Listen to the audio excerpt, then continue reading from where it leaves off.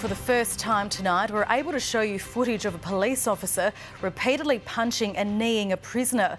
The footage was recorded by police station cameras in March, but couldn't be shown until now. Nine months on, the officer has resigned, but no charges have been laid. The former police officer has fought a legal battle to block the release of this vision. It shows a 30 year old arriving at Broome Police Station after he was arrested for drinking offences. Then he swings at the arresting officer.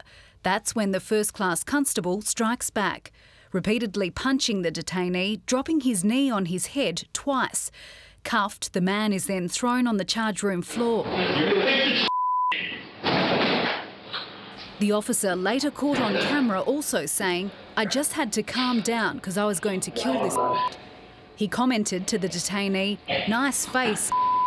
You punched like a fat.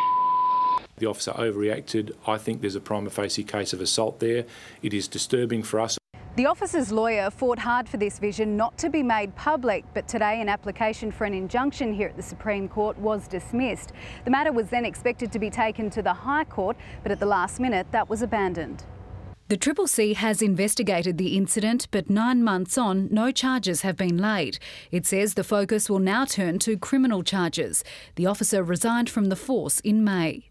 If we had the inquiry, he would have been charged months ago. The Corruption and Crime Commission are responsible for charging him. The Triple C investigated the same officer over an incident three weeks earlier. The Commission ruled that the officer used excessive force when he put an intoxicated teenager in a necklock and later stripped him of his clothes in front of at least five officers, including a female. There were no charges over that incident. In all, the Triple C has criticised nine officers for not intervening or reporting the two incidents. Three officers were stood down by the Police Commissioner. Ebony Ferranda, Nine News.